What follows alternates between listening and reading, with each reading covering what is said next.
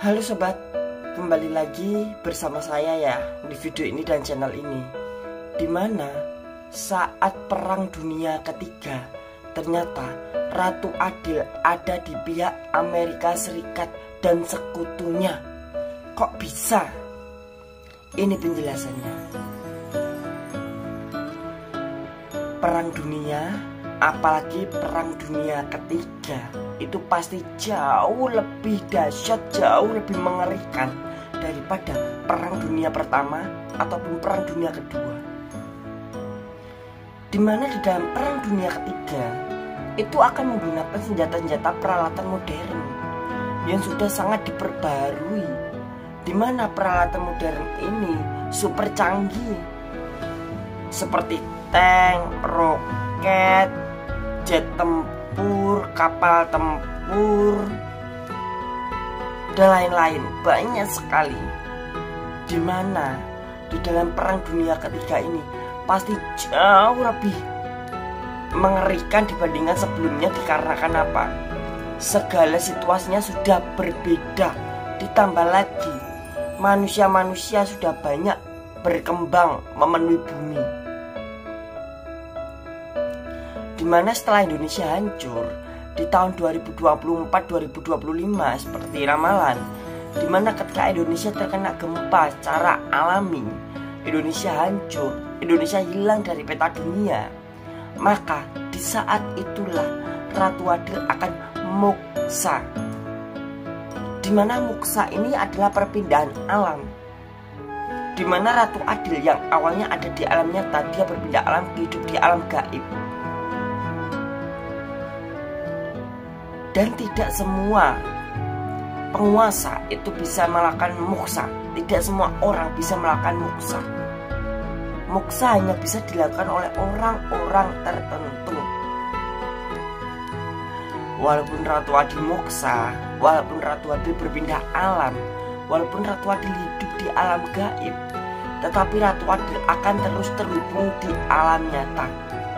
Ratu Adil akan terus terhubung dengan alam nyata sebagaimana kodratnya. Kodratnya Ratu Adil itu adalah penguasa. Kodratnya Ratu Adil adalah manusia. Di mana manusia itu kodratnya itu di alam nyata. Walaupun Ratu Adil menjadi manusia abadi, manusia gaib, dia hidup di alam gaib, tapi dia akan terhubung dengan alam nyata. Di mana ketika Ratu Adil membantu sekutunya Membantu teman-temannya Membantu bolo-bolonya. Bagi Ratu Adil Di mana musuh dari musuh sekutunya itu adalah teman. Jadi musuh dari musuh adalah teman. Dan teman dari musuh adalah musuh. Jadi kalau musuh punya musuh musuhnya musuh itu teman kita. Sedangkan kalau musuh punya teman temannya musuh temannya musuh itu adalah musuh kita. Di mana Ratu Adil ini akan benar-benar membantu sekutunya. Ratu Adil akan berjuang semampu dia sekuat dia sebisa dia untuk membantu sekutunya. Seperti perang-perang yang lainnya dan perang-perang sebelumnya. Setelah perang terjadi, pihak yang menang boleh melakukan pencaplokan wilayah. Pihak yang menang boleh melakukan pengambilan wilayah. Di mana Ratu Adil akan melakukan sesuatu sesuai yang dia kehendaki. Bahkan Ratu Adil tidak akan tunduk dengan siapa pun. Dan Ratu Adil juga akan menjadi saksi nyata atas dunia ini. Ratu Adil akan jadi orang yang ngerti sak nyatane. Di mana perjuangan Ratu Adil ini luar biasa.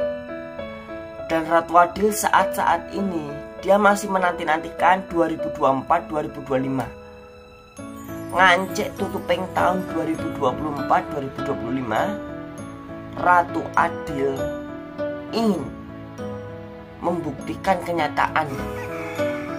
Ratu Adil ingin berusaha sekuat mungkin demi masa depannya. Jangan lupa klik like dan subscribe video ini nyalakan lonceng notifikasinya dan komen di kolom komentar